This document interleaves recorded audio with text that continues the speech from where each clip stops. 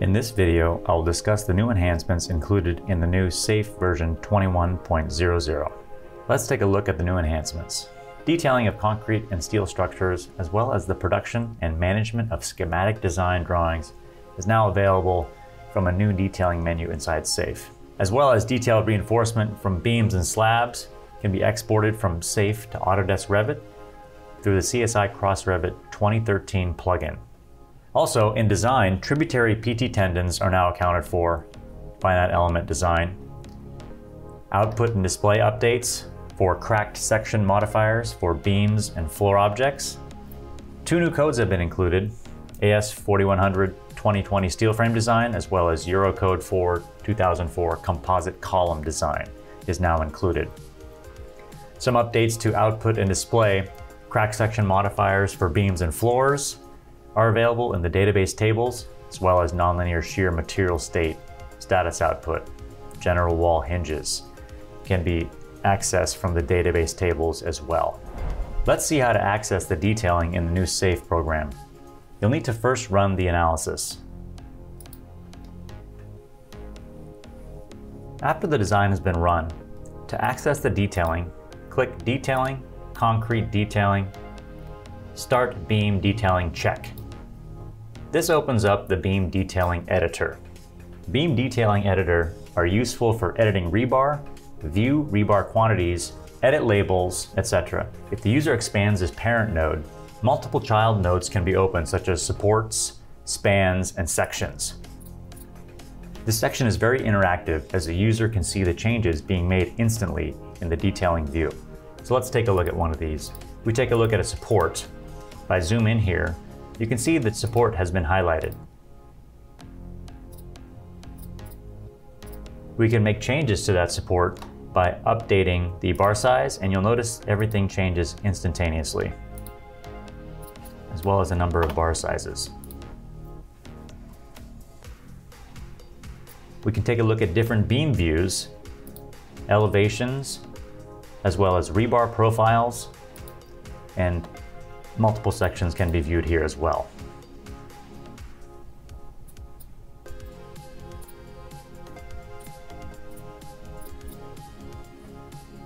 Okay, now let's take a look at some slab detail. We'll click OK. Next, we need to go to Detailing, Concrete Detailing, Start Slab Mat Footing Detailing Check. Similar to the detailing for beams, detailing for slabs are useful for updating rebar, viewing rebar quantities, as well as editing labels. So if we take a look at some rebars and strips or similar rebar, we can take a look at the specific layers, supports, as well as bars. If I right click CSA1, that's the name of the strip, I can edit slab rebar. If I zoom in here a little bit, we can take a look at a specific strip as well as the rebar associated with it. I'm going to open up this rebar editing tool a little bit and you can see the layout. For strip number one, shown here above, here's the support, here's the span, support two, span two. We can make changes to the spacing as well as the bar size, which will be updated automatically. As you can see, as well as updating longitudinal bars, spacing for different portions of the strip. All the general information is located here on the left-hand side, including the strip layer, design type, geometry, and all the quantities associated with this strip. You could do the same thing for multiple supports, different strips, as well as updating the rebar as well.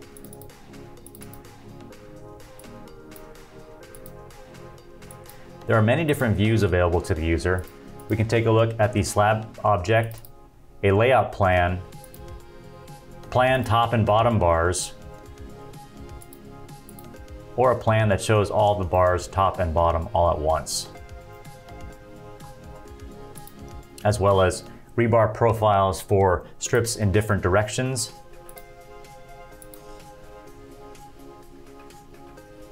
Detailing Editor is a very useful tool allowing the user to make changes to the rebar quite simply. Specific information regarding the detailing editor can be accessed by hitting the F1 key, which will bring up the help associated with the detailing editor.